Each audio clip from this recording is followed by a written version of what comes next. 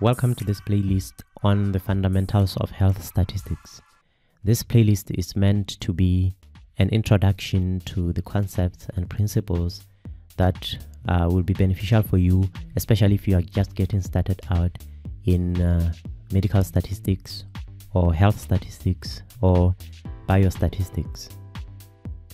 The primary objectives is to develop basic skills in computation and calculations of statistics and also to be able to uh, make use of appropriate methods uh, to display data.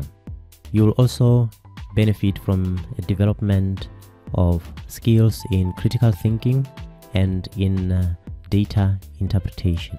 Topics to be covered will range from descriptive statistics to inferential statistics. We'll cover basics of descriptive statistics, including the summarizing and graphing of data. And in inferential statistics, you'll be introduced to uh, the basics of probability and hypothesis testing.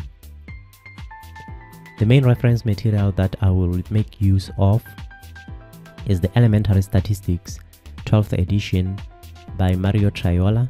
The book itself is not was not written for uh, the health sciences necessarily, but the concepts and, and principles that are discussed in the book are transferable.